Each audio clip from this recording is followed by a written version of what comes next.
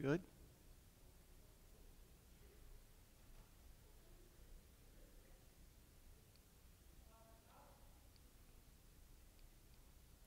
Good to go? I see a hand. Okay, there's a thumbs up. Well, good morning, everyone. It is um, a privilege to be back in front of you. It's been a while since I've been in the auditorium. Hopefully, Kevin explained that he's going to be out uh, for the month of June, and uh, he wanted to have his study. I think he's in First Timothy, I believe. Uh, he wanted to have that study un- uninterrupted, so he would uh, pick that up when he returns. So, for the next four weeks uh, during the month of June, we'll be um, in the study of the book of Ruth, four week series. Now, if you, if you have a one year Bible, it's a, a, Bible that divides it up into daily readings. Um, usually around Mother's Day, uh, the structured readings, uh, usually it's around Mother's Day, the book of Ruth comes up to, for reading. Uh, a few weeks ago, almost fittingly, the, uh, the book of Ruth came up around Mother's Day. And this book has been the subject of, of many Mother's Day sermons, and I'll have to admit that for the longest time, that's how I viewed it. But it's really more than that. There have been all kinds of books and DVDs and, and commentaries and sermon series. I think there's even a movie from around 1960 called The Story of Ruth. I watched a little bit of it here a few weeks ago. Just happened to be on, and I saw a little bit of it. And of course, Hollywood takes their dramatic license, but it was, it was okay. It's easy to skip through this short book and label it as a Mother's Day type book between the adventures of the judges to the escapades of King Saul and King David in 1st and 2nd Samuel. But during the reading of the book of Ruth, maybe you, like I, will consider things you never really considered before. The very first sentence in the very first verse, in the very first chapter of Ruth, kind of sets the important context for the book. These words tell us a lot. In the days when the judges ruled. Now, what do we know about the days that the judges ruled? Well, during the period of the judges in Israel, if you read the, the, the, the book, there's a lot of uh, adventurous tales. There are uh, uh, all kinds of characters and, and stories involved. And you would think it would be a time of stability, it'd be a time of, of harmony and, and peace and normalcy. There would be societal order. That wasn't the case. It was a very dangerous time in Israel. Judges uh, chapter 17, verse 6, and Judges chapter 21, verse 25 and, and, and other areas specifically says Israel had no king, everyone did as they saw fit. Few rules, few norms, everyone did as they saw fit. The rich and powerful got more powerful, the weak and oppressed became more weak and oppressed, and the downtrodden were shoved aside. Downtrodden, in many cases, including widows. So it's against this backdrop of, of chaos and, and disorder and societal uh, strife that the story of Ruth takes place. And we'll see in Ruth that ordinary people living ordinary lives or trying to live ordinary lives will experience extraordinary human pain, but through their suffering, they will produce extraordinary results because God will use them for His purposes. So, in understanding and setting the context for the book of Ruth, you have to understand that you can't look at the story from a human standpoint. Because if you do, it's pretty unlikely that Ruth would be chosen to live the role that she lived. Hollywood probably couldn't write a better script. There's tragedy, there's human suffering, there's drama, there's overcoming difficulty against all the odds. And in the end, there's victory for the human spirit. But it's not a Hollywood script. It's a story about faith and loyalty. It's a story about responsibility and the love of a woman who played a direct part in the Messiah story. And in some ways, the, the title of the book is, is misleading.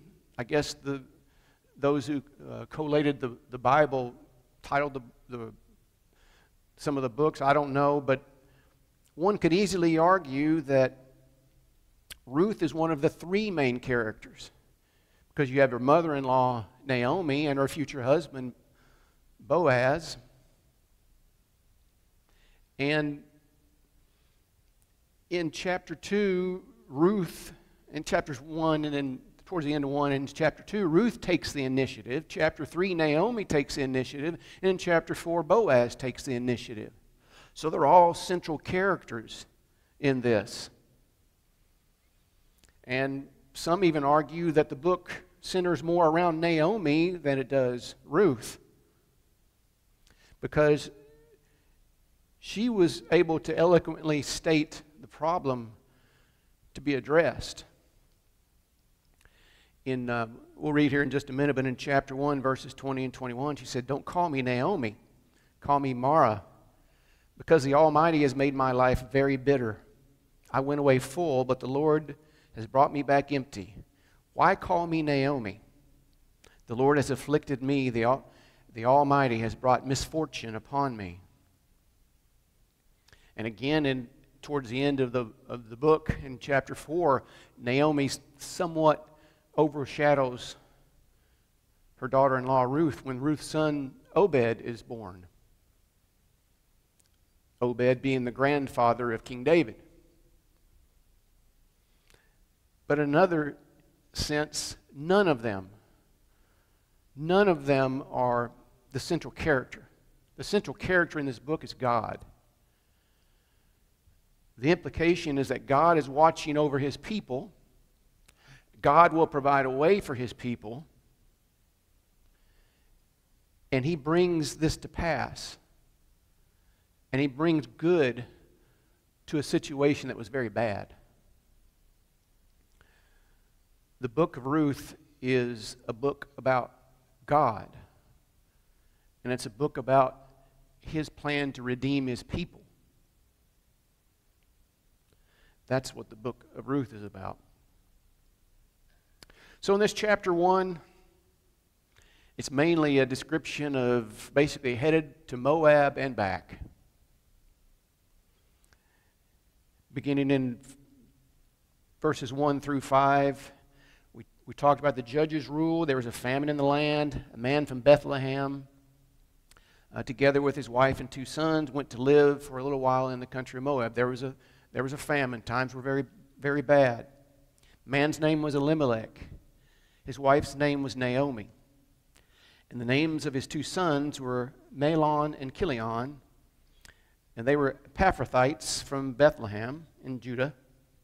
And they went to Moab and lived there.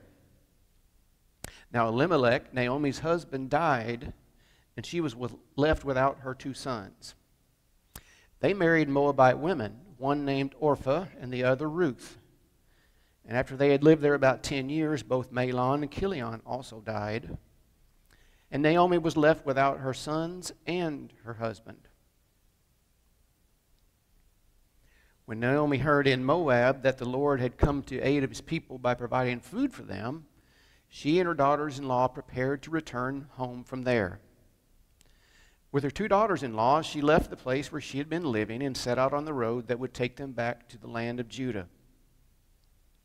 Then Naomi said to her two daughters in law, Go back, each of you, go back to your mother's home.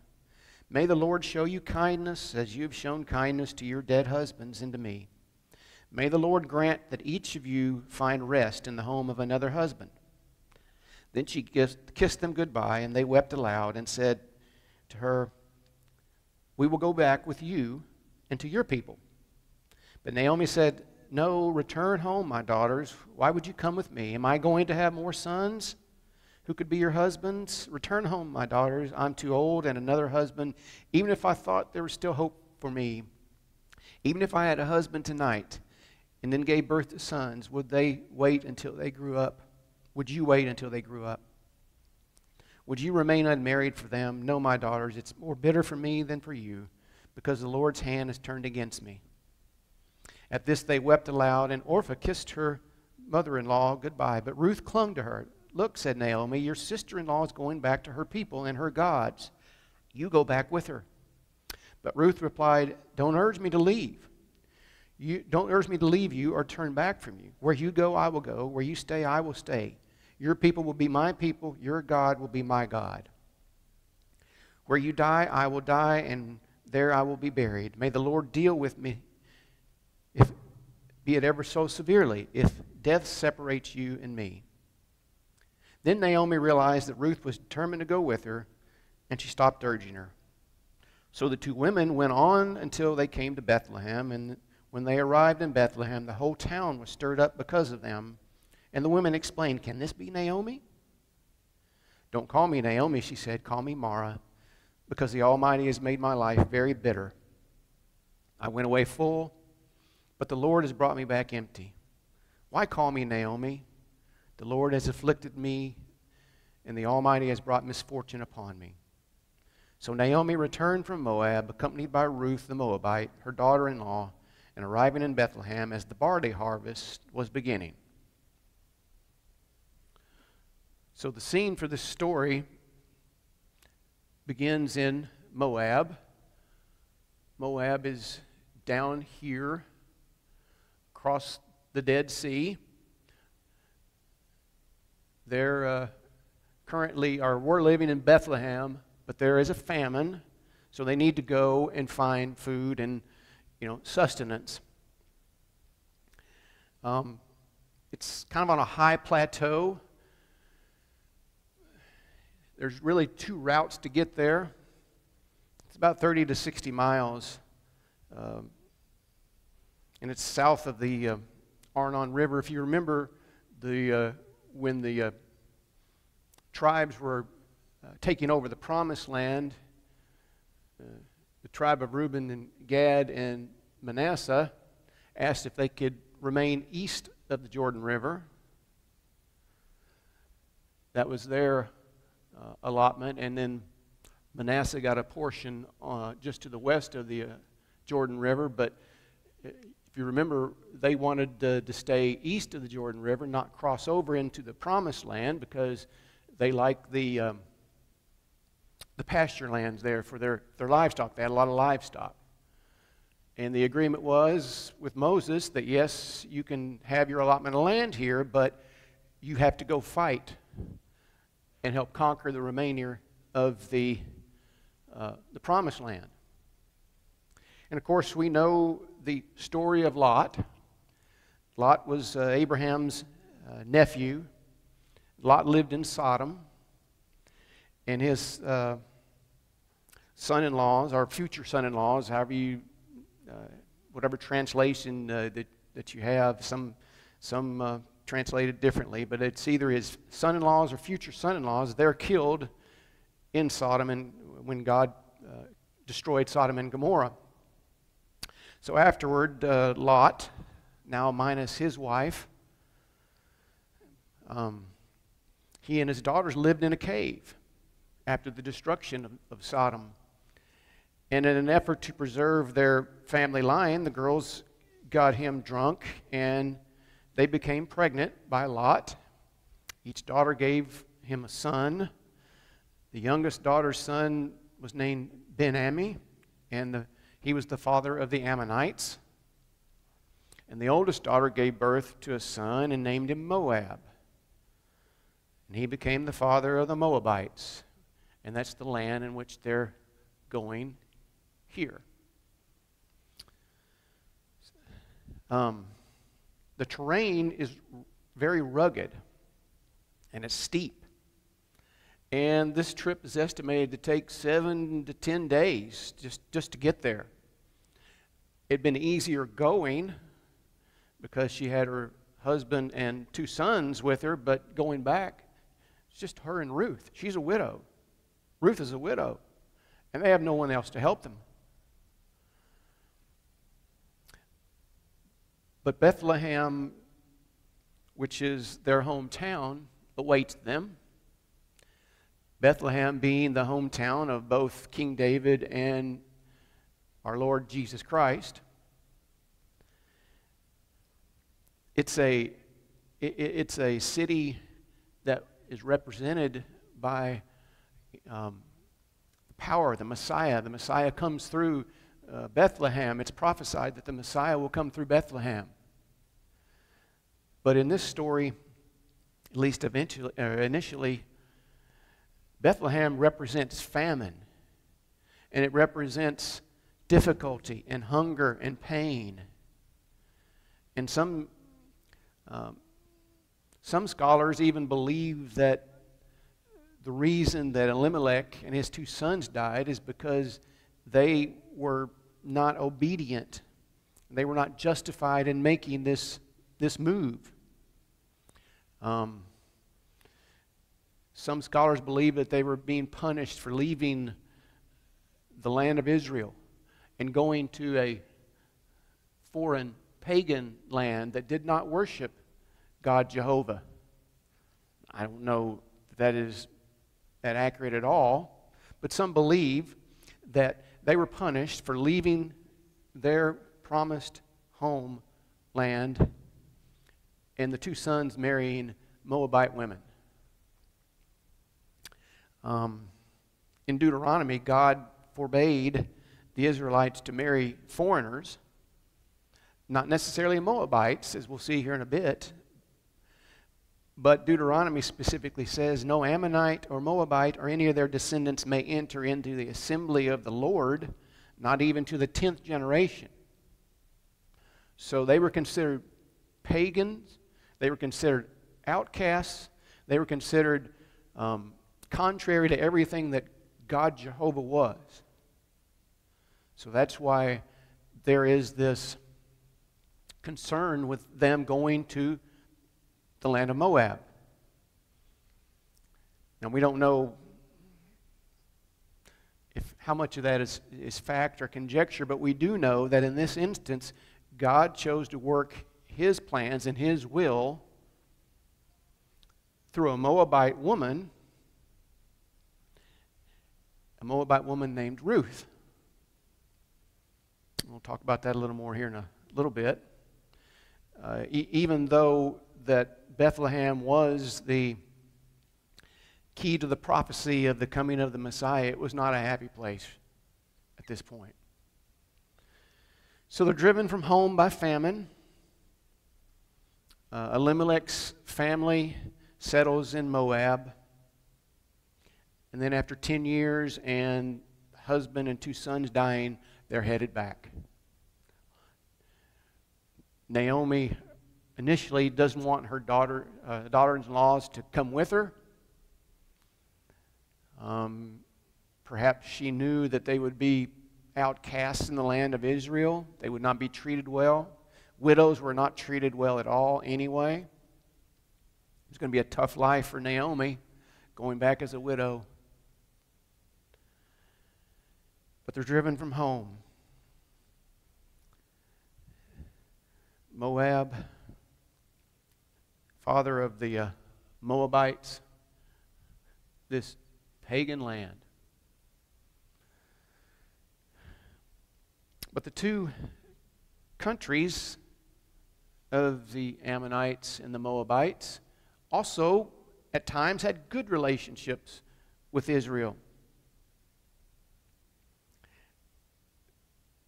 There was constant fighting between the uh, dynasties of, of, Saul, the kingship of Saul.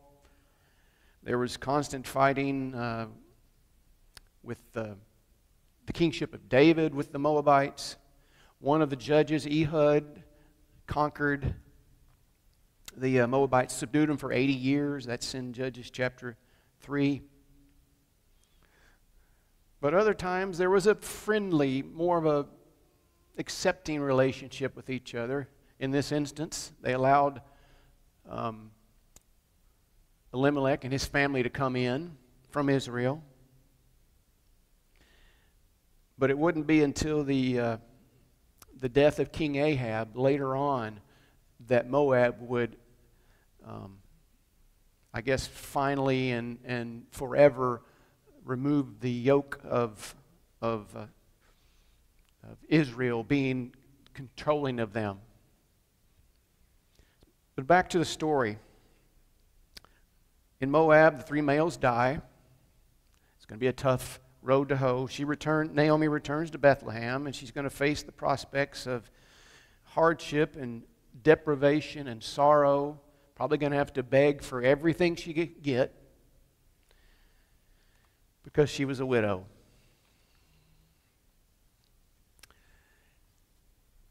And as often the case today, unfortunately, widows are not always treated respectfully and properly, and they're not treated um, with uh, their initial uh, needs in mind.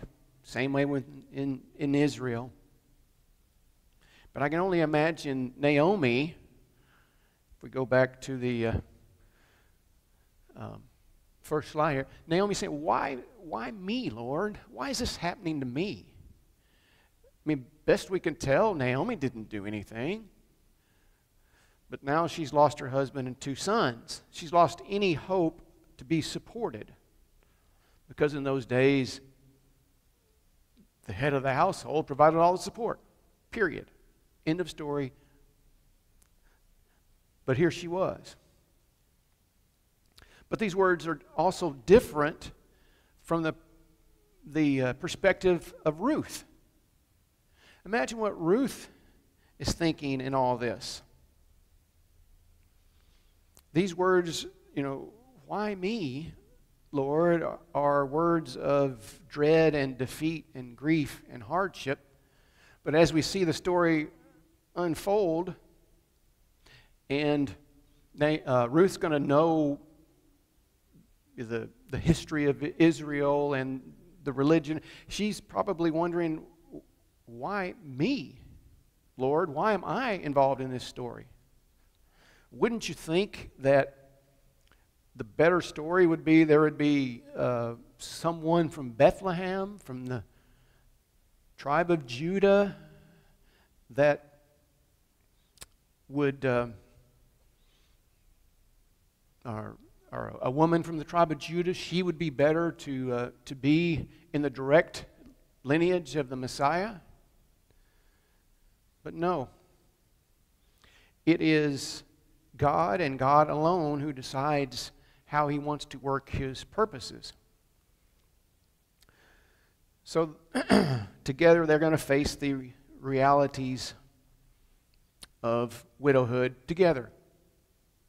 And I want to redeem Orpha here a little bit, even though she did go back.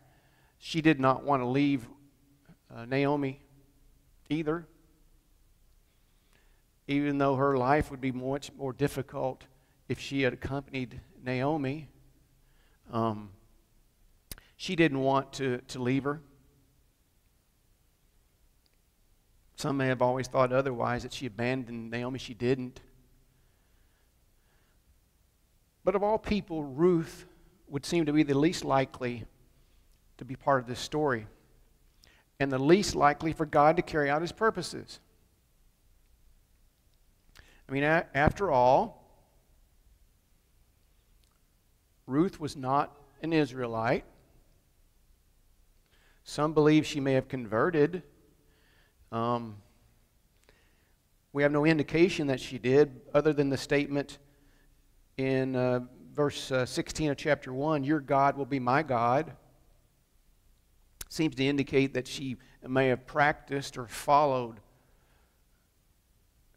um, Jewish religion somewhat, but being who she was, a Moabite, she would be excluded from the assembly. But above all, she was dedicated to Naomi. Sure seems like it would fit better with the narrative of the story if a little, little tidier if all this had just happened all within Israel and within the tribe of Judah and within uh, Bethlehem.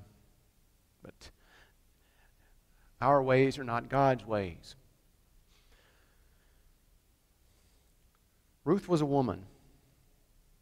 During this time and culture, women were powerless. And they, along with their children, were basically considered household property. They had no rights. They had nothing other than what was given to them through the household. That's why Naomi was so um, distraught because she knew coming back as a widow, she would have nothing. She says, Don't call me Naomi, call me bitter, which is Mara, which is bitter. She said, I have nothing anymore. Ruth's facing the same situation, but the problem is Ruth is not even an Israelite.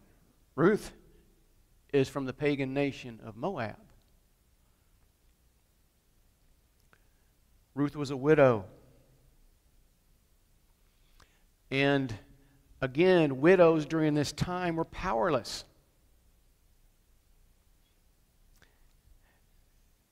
They were neglected, they were cheated, they were mistreated. Even in Jesus' days, remember, he, he would get uh, very angry and he would, uh, he would call out the Pharisees because they were ripping off, cheating the widows. Same during this period. They were mistreated, powerless, shunned, forgotten by society. And even though during the period of, of drought and famine,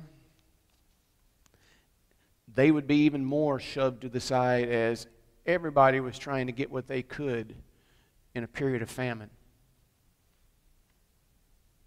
But God always uses His ways, and God uses His purposes to not only demonstrate His power and majesty, but to carry out His plans. God sent Elijah to Zarephath to a widow's house, whose demise probably and plight was probably inevitably certain. But God intervened. She was poor, but God intervened. Ruth was poor. Naomi was poor. How are they going to do anything? How are they going to provide for themselves? Well, basically, what they could do about their only option was to go glean in the fields. Um, in Leviticus, yeah, Leviticus chapter 23, God told Moses and given, giving him the law, he said, uh, When you reap the harvest of your land, do not reap to the very edges of your field or gather the gleanings of your harvest. Leave them for the poor and for the foreigner residing among you. I am the Lord your God. Gleaning is the act of collecting what's left over after the professional harvesters have come through. These fields were commercially harvested. And as we'll read in, in succeeding chapters, the, this act of, of gleaning that God specified in Leviticus is going to be the way in which Ruth will be introduced to her future husband, who is the grand who will be the grandfather of King David. It is through this very act that God prescribed in Leviticus is how they meet, in essence. Some ancient cultures even prescribed this as a form of, of welfare, but it was also dangerous. The commercial harvesters weren't the best lot always. It could be rough. And, and uh, as we'll see, you know, Boaz, when he figures out who Ruth is, says, you know, stay in my field. Um, I've, told, I've told the harvesters they better leave you alone, but stay in my field. It's dangerous, especially for a widow. But this process of God providing for foreigners to take, over, take the leftover crops will play a role in how these two will eventually meet. Ruth had been released by her mother in law. Her mother in law said, you, you know, don't come with me. You don't owe me anything. I want you to stay here in Moab. Marry again. I can't give you any another son to marry. And if even if I could, if I could remarry and have another son, how many years would it be before he could even marry? It was her right to leave. It was her right to return to her people. But Ruth believed in verse 16 that your people will be my people. Your God will be my God. And if you had told Ruth at the end of the story that she would marry again, that she would bear a son, and that son would be in the direct lineage to the Messiah, she must have wondered, Why me, Lord? Naomi, from a standpoint of, This is just so hard to take. Why is this happening to me? But Naomi probably, or uh, Ruth probably, in a sense of wonderment and amazement, is why is this happening with me? I'm, I'm a powerless widow, a foreigner from a foreign nation, a nation that you sometimes are at war with. Why me, Lord? Now, speaking of the, the marriage of the, the son, two sons to the Moabite uh, women, this was not specifically forbidden in the law of Moses at the early period of it. But there were severe restrictions against the Moabite descendants that were prescribed later. Of course, we, all, we, we know in Genesis chapter 19 that the Moabites, as we talked about, were descendants of Lot. And they, they accepted and they worshiped a, uh, a deity, Chemosh. That was their God. It wasn't God Jehovah. It wasn't the Lord God Jehovah. It was Chemosh. And as we said, they were a perpetual enemy of Israel, but there were times that, that they did at least get along. Once, when David was um, uh, fleeing from King Saul. King Saul was trying to kill David. I guess he was uh, King David at the time as well because he had been anointed, but, but Saul's chasing David, trying to kill David. And David flees and uh, took his parents, and they were cordially received in Moab. That's in uh, 1 Samuel. But however, in general, God uh, directed that his people uh, totally destroy and not associate with the nations around you. He was concerned that if they didn't drive out everyone, if they didn't um, subdue and destroy the nations around them, that they'd be led astray. And he was right. In Deuteronomy chapter 6, God told Moses, uh, When the Lord your God brings you into the land you're entering to possess, and drives out many nations the Hittites, Girgashites, Amorites, Canaanites, Perizzites, Hivites, Jebusites, seven nations larger and stronger than you. And when the Lord God has delivered them and you have defeated them, you must destroy them totally. Make no treaty with them, show them no mercy. Do not intermarry with them. Do not give your daughters to their sons or take their daughters for your sons, for they will turn your children away from following me to serve other gods. And the Lord's anger will burn against you and quickly destroy you. And this is what you are to do to them break down their altars, smash their sacred stones, cut down their Asherah poles, and burn their idols in the fire. For you are a people holy to the Lord your God. The Lord your God has chosen you out of all the peoples on the face of the earth to be his people and his treasured possession. God knew what would happen, but a woman from one of those nations is going to be brought into this story and will have a son who will have a son who will have a son who will be King David. And we know the lineage from there. God knew what would happen if his people would intermarry. He knew what would happen. They'd be led astray and worship other gods.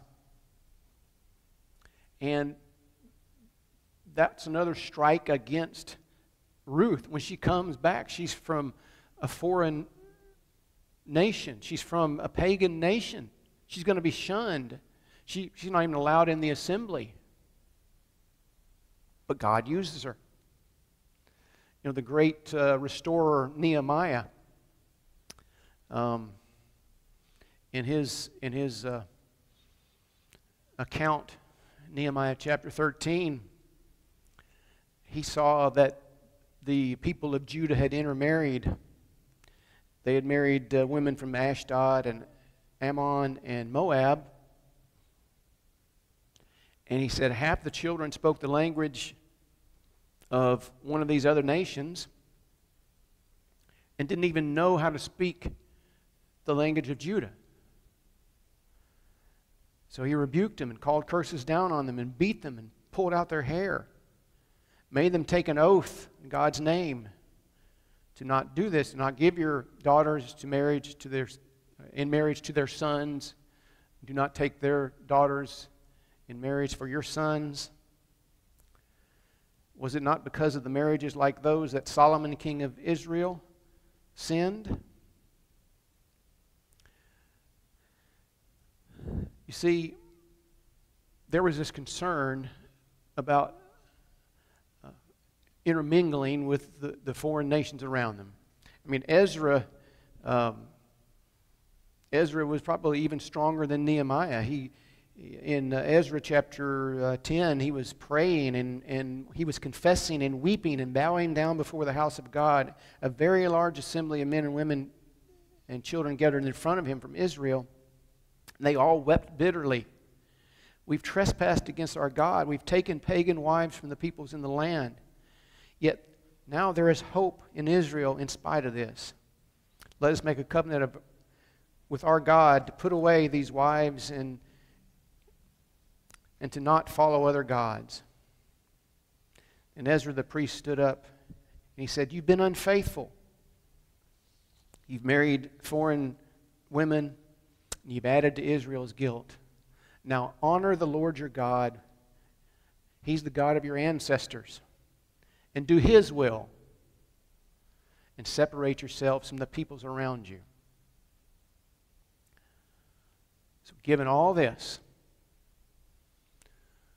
with all the opposition to the Moabites, Ruth the Moabitess,